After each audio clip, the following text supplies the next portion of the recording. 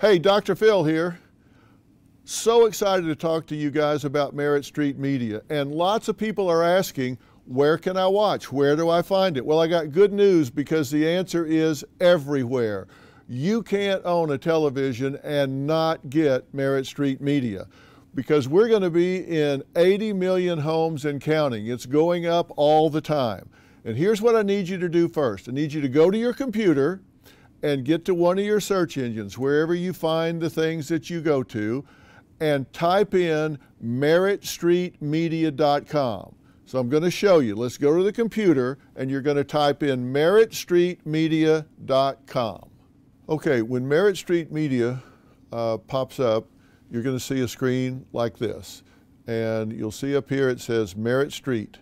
And to the right, you've got shows, schedule, channel finder, about us, and then a button over here for channel finder, and then one down here for find channel. And you need to click here, channel finder, or here, channel finder, doesn't matter, but we'll just use this one right here. You click that, and it brings you down here, and you'll see where it says enter zip code. So you, you type in your zip code, and let's assume you live in Bayside, New York. So we'll put in the zip code for there, which is 11360. And then you click Search Providers.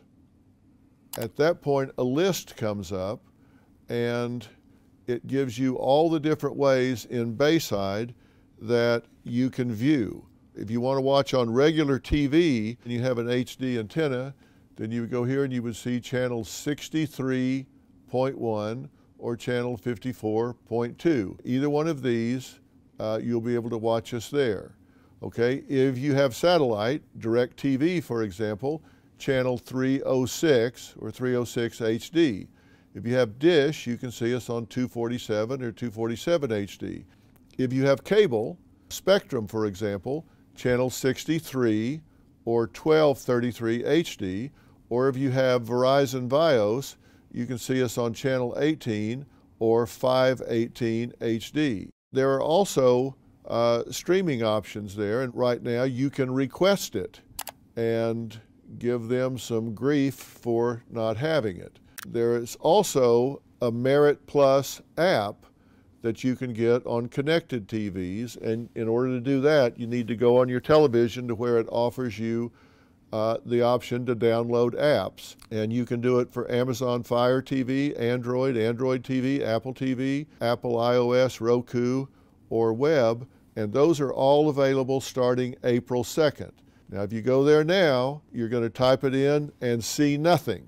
But as soon as April 2nd hits, then you can go there and it'll pop up. You can get it, open it, and be able to watch it on your app on your television.